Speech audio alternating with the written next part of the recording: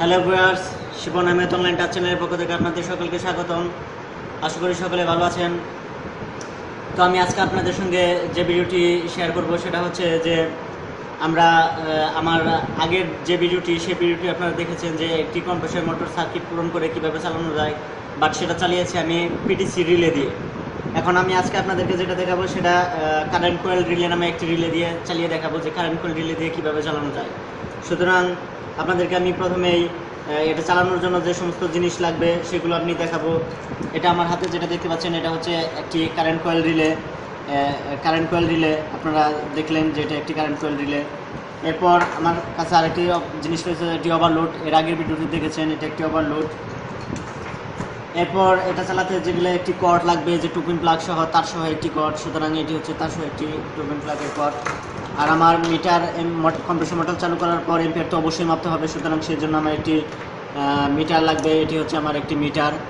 এটি দিয়ে আমি এম্পিয়ার দেখব কীভাবে এটা মিটার দিয়ে মাপা যায়। তো এই জিনিসটি আজকে লাগবে। এই কম্প্রেসর মোটরটি চালানোর জন্য চালানোর অপশন সমস্ত কিছু আপনারা জানেন আগে থেকে। জাস্ট আজকে নতুন অপশন যেটা হচ্ছে সেটা শুধু এই কারেন্ট কোয়েল রিলে সুতরাং এই কারেন্ট কোয়েল দিয়ে কীভাবে চালানো যায়? কারেন্ট কোয়েল রিলের মধ্যে আপনারা এখানে একটি দেখতে পাচ্ছেন যে এখানে কোয়েল দেখা যাচ্ছে কোয়েল পেছানো এবং কি যে একটি কারেন্ট কল রিলে এখানে আপনারা একটি স্টিলের পাত দেখতে পাচ্ছেন। জাস্ট এটা আমি আপনাদেরকে খুলে দেখাবো। এটা এটা একটি স্টিলের পাত, এটা এই পয়েন্ট দুইটা পয়েন্টে এটা যারা শর্ট করা থাকে, সুতরাং এটা আমাদের অবশ্যই লাগবে। এটা চালানোর জন্য, এটা চালানোর জন্য এটা আমাদেরকে শর্ট করে দিতে হবে এই দুই পয়েন্টে এখন যেমন এখানে আপনারা এভাবে দুটি পয়েন্টে শর্ট করে দিতে হবে। লক্ষ্য করুন, এইভাবে দুটি পয়েন্টে শর্ট করে দেওয়ার পর আমাদের যে টু পিন প্লাগ রয়েছে, এই টু পিন প্লাগের একটি মাথা এই ইয়ের শর্টের এই দুই পয়েন্টের যে কোনো একটি পয়েন্টে আমাদেরকে সুন্দরভাবে লাগিয়ে দিতে হবে। জাস্ট আমি আপনাদের দেখানোর জন্য, প্র্যাকটিক্যালি পরীক্ষা করার জন্য আমি করতেছি। জাস্ট এটা আমি এখানে আটকে দেবো সুন্দরভাবে। এভাবে এখানে আটকিয়ে দেব।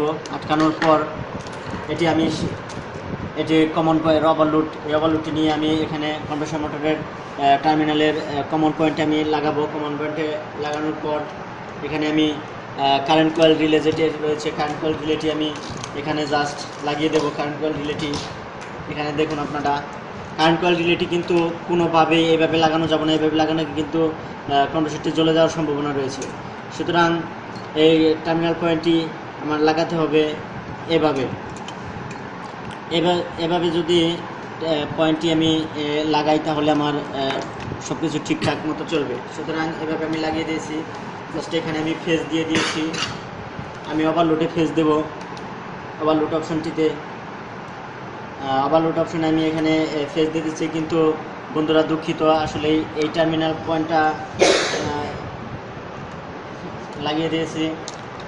এখন আপনারা লক্ষ্য করুন যে এটা লাগানোর পর জাস্ট আমি এখন এক্সটেনশন কর্ড লাগবে। এক্সটেনশন কর্ড দিয়ে আমি এটা পাওয়ার সাপ্লাইয়ের এখানে একটি ব্যবস্থা করব যে কীভাবে পাওয়ার সাপ্লাই দেওয়া যায়।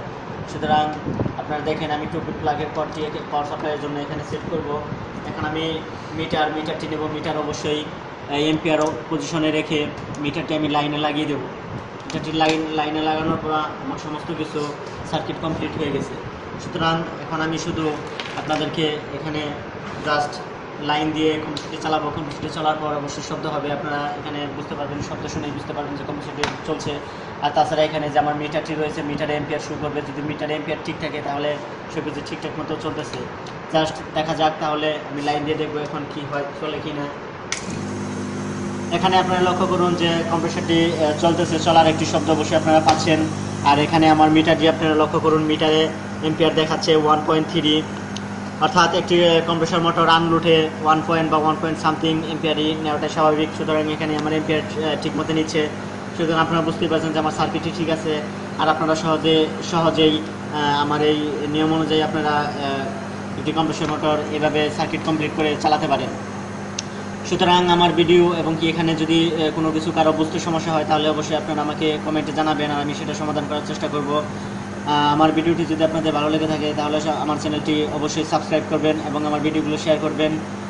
এই বলে সকলকে ধন্যবাদ জানিয়ে আজকের মতো এখানেই শেষ করছি। আর আমার নেক্সট আপডেট ভিডিওগুলো আপনারা অতি শীঘ্রই পাবেন। তো সবাই আমার নেক্সট আপডেট ভিডিওগুলো দেখতে থাকুন।